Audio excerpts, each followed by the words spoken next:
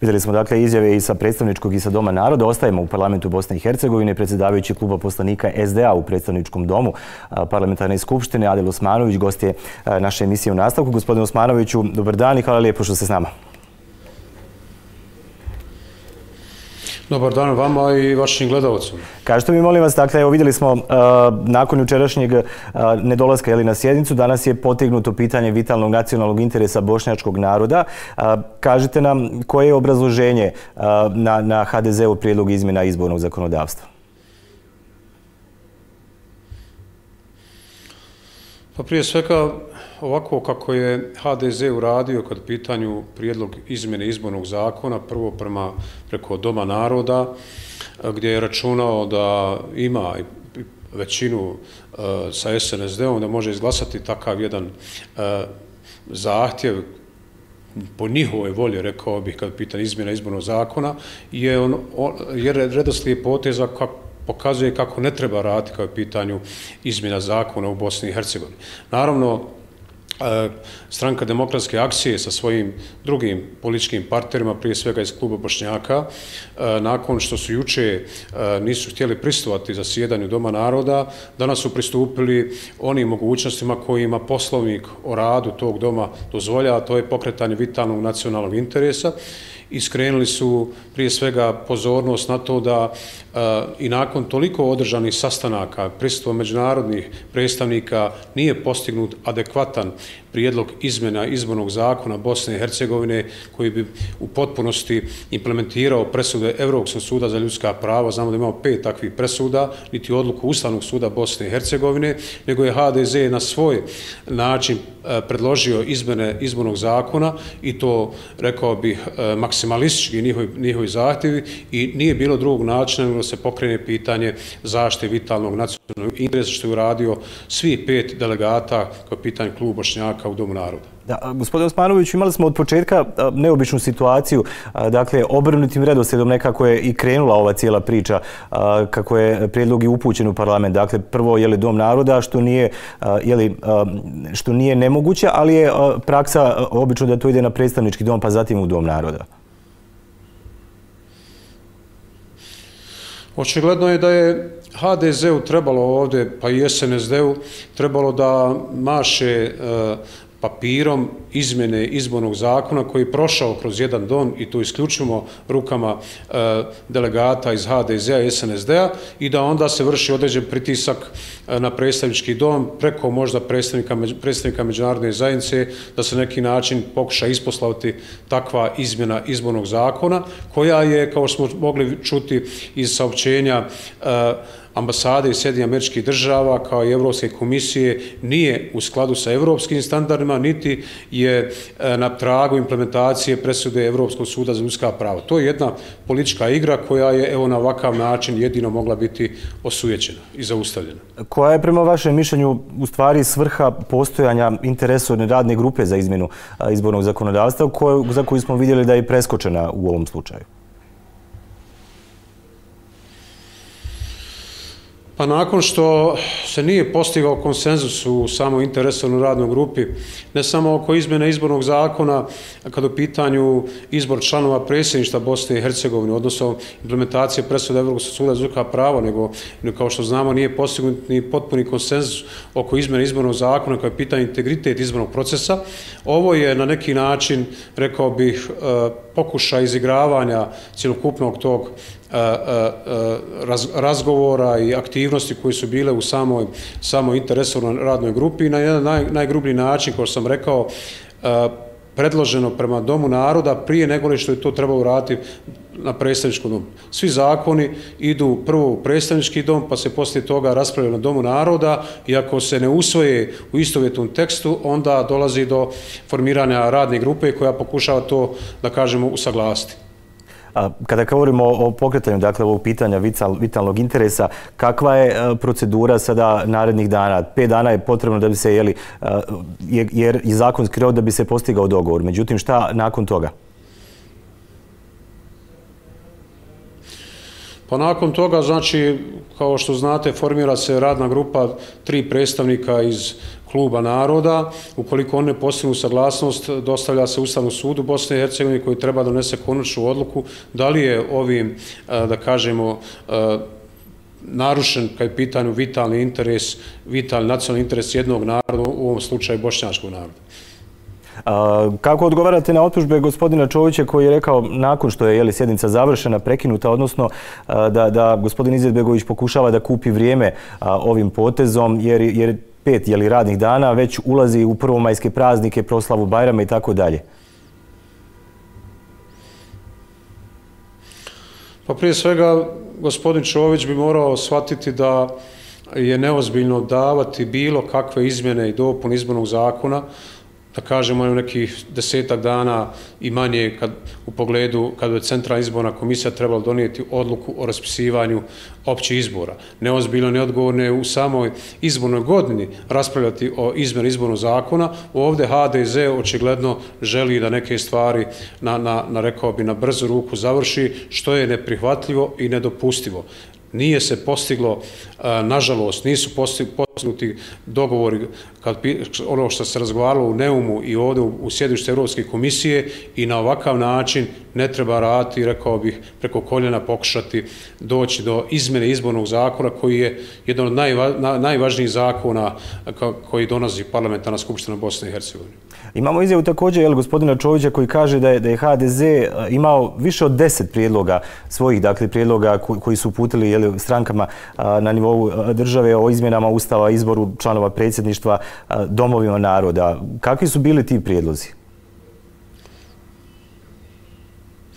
Pa mogao je predložiti više od deset, mogao je predložiti dvadeset takih prijedloga, ali nažalost ni jedan od tih prijedloga nije u skladu sa presudama Evropskog suda ljudska prava i vidjeli smo, rekao sam, to je, su to spotvrdile ambasade Sjedne američke država i predstavnik Evropske komisije u, u Bosni i Hercegovini, gospodin Sattler. Prema tome, e, možete vi davati rašte prijedloge, ali e, oni moraju biti u skladu sa presudama Evropskog suda ljudska prava na osnovu svih onih apelacija koji su podnijeli od Pudarića, e, Zornić, e, Pilava i ostali. E, nije, nije rješenje u kvantitetu, nego je prijedloga, nego je rješenje u kvalitetu prijedloga, a oni su najjednostavniji tako što ono što je stranka demokratske akcije predlagala, to je da se prefiksi očigledno moraju brisati kao je pitanje izbori članova predsjedništva u Bosni i Hercegovini. To je osnovna smisao i poruka Evropskog suda za ljudska prava.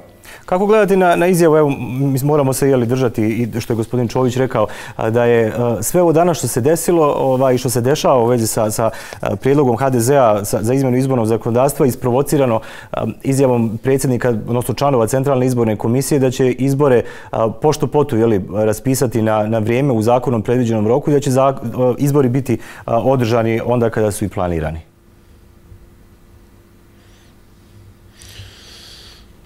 Pa to pokazuje u stvari koliko je kontrolu nad centralnom izbornom komisijom imao SNSD i HDZ do izbora, do izbora ovih novih članova centralne izborne komisije koje je urađena prošle godine u predstavničkom domu parlamentarne skupštine Bosne i Hercegovine.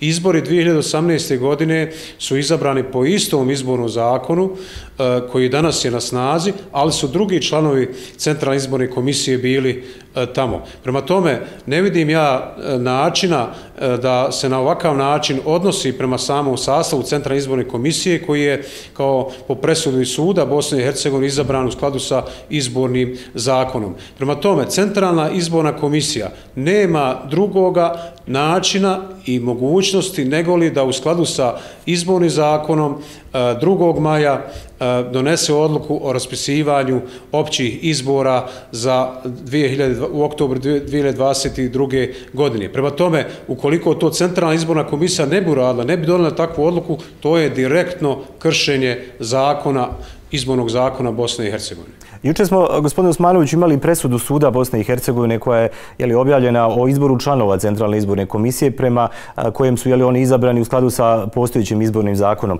Eh, da li je sada nakon te presude konačno stavljena tačka na, na to pitanje o, o legitimnosti jeli, izbora članova CIKA? Pa naravno da jesno. Mi smo, kada smo pristupili imenovanju članova Centralne izborne komisije u predstavničkom domu, a on je, on je urađen u skladu sa izbornim zakonom, izborni zakon je potpuno jasan. Kaže se ukoliko mjesec dana prije isteka mandata članovama, članova Centralne izborne komisije e, nadležno izborno povjerenistvo ili izborna komisija ne dostavi predstavničkom, predstavničkom domu listu kandidata, predstavnički dom je u obavezi da pristupi imenovanju članova Centralne izborne komisije kako ne bi došlo do, do vakuma. Prema tome, mi smo i tada e, predstavnicima HDZ-a u predstavničkom domu parlamentarne skupštine Bosne i Hercegovine rekli da e, oni ako smatraju da, su, da je odluka o imenovanju članova Centra izborne komisije kršen izbornog zakona, imaju sud Bosne i Hercegovine koji o tom treba da donese konačnu odluku. Prema tome, ovo je, da kažemo, bila očekivana e, presuda suda Bosne i Hercegovine u kojoj stoji da je Centralna izborna komisija izabrana u skladu sa izbornim zakonom i to je potvrda onoga što je uradio Završki dom parlamentarne skupštine Bosne i Hercegovine donošenjem odluke o imenovanju članova CIK-a. Da. E sada dok se dok Ustavni sud pretpostavljam da će na kraju doći do Ustavnog suda da da ovo pitanje oko zakona koji je HDZ predložio imamo sjednicu dakle predstavničkog doma koji danas raspravlja o tehničkim izmjenama izbornog zakona zakonodavstva. Kažete mi kako je raspoloženje da se te neke tehničke stvari unaprijede koje već koje mogu ili postoji li saglasnosti oko kojih stvari? Nažalost, mi smo izgubili mogućnost da danas u predstavničkom domu donesemo eh, izmjene izbornog zakona kao pitanju integritet izbornog procesa, zato što na jučerašnju sjednicu Ustavno pravna komisija nije eh, dala pozitivno mišljenje na izmjenu eh, izbornog zakona E, kada pitanju integrite izbornog procesa. Danas Završki dom će se glasati jedino o prihvatanju ili odbijanju mišljenja Ustavno pravne komisije. Ja se nadam da će će dom e, odbiti mišljenje Ustavno-pravne komisije, što onda znači da će ponovo e, razmatrati izmene dopun izbornog zakona Ustavno-pravna komisija i nadam se da će tada biti kvalificirana većina da se da pozitivno mišljenje. Ali mi gubimo već vrijeme, ovo što sam rekao, već je to e, prilično blizu da CIK e, proglasi održavanje općih izbora, sa ovim je poprilično izgubljeno vremeno da je danas, da smo danas imali pozitivno mišljenje eh, Ustavno pravne komisije i cijenim da bi imali potrebnu opću i entitetsku većinu, ovaj zakon bi danas bio usvojen i, i ostalo bi jedno nam domu naroda da se oko njega odredi. No, mi danas možemo, kao što sam rekao, glasati jedino i oboriti mišljenje Ustavno pravne komisije, a neko od naredi sjednica ponovo razmatrati ovaj a, a, ili pozitivni izvještaj Ustavno pravne komisije ponovo razmatrati usvajanje ovog izmeni dopuni zakona kao pitanje integritet izbornog procesa. Ovdje je, nažalost, SNSD i HDZ obaranjem izvještaja na Ustavno pravnu komisiji dobio dodatno na vremenu da je teško sada očekivati da će ovaj izmena izbornog zakona biti usvojena. Znači sve ono o čemu se pričalo prethodnih dana da je, da je da postoji određena saglasnost je danas također je li palo u vodu. Tako je. Tako. Kažete mi, šta je sa, sa mogućnošću bojkota izbora? O tome se također spomnjalo upravo od ove dvije stranke koje ste spomenuli, da, da ako se ne dese tehničke izmjene, ako se ne desne uopšte izmjene izbornog zakona, da postoji mogućnost da oni bojkotuju izbore. Pa vidite, svako može pristupiti određeno da kažemo bojkotu izbora, ali blokada izbora se ne smije desiti. Svaka politička stranka može se odlučiti da ne izađe na, na izbore i to je politički stav, ali ne smije se vršiti ovaj, blokada izbornog procesa i mogućnosti da građani e, biraju E, na, na predstojićim općim izborima, jer to je onda direktno kršenje zakona ove države, što pod, e, podrazumijeva da se mora ključiti pravosudne institucije prema svima onima koji bi se na takav način odnosili kao pitanje blokada izbornog procesa.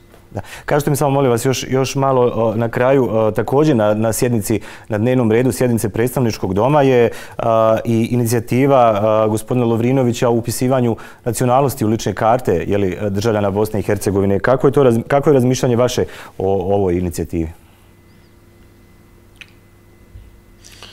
Pa vidite, taban kada se ponadate da HDZ ne može ići ispod nekih stvari kao pitanju nacionalne odrednice, onda oni izađu sa ovakvim, sa ovakvim prijedlogom. To je prije svega eh, anticivilizacijski, antievropski standard. Eh, to je, kao što smo mogli čuti u diskusijama, kršenje eh, Evropske konvencije u ljudskim pravima, slobodama. Svaka osoba ima pravo da se izjasni ili ne izjasni kao pitanje nacionalna pripadnost. Kada ovo prođe, bilo bi zaočekivati da HDZ sutra traži da se na automobilskim tablicama obilježava, da se zna da li sjedi i vozač Bošnjak, Srbin ili Hrvat, da li treba držati neku distancu i tako dalje. Ovo zaista je, rekao bi, sunovrat politike HDZ u pogledu e, takve borbe za e, e, eksplicitno prenaglašeno isticanje nacionalne pripadnosti kad pitanje Bosna i Hercegovina. I kažete mi još samo e, kada ćemo dobiti budžet, kada će budžet biti usvojen?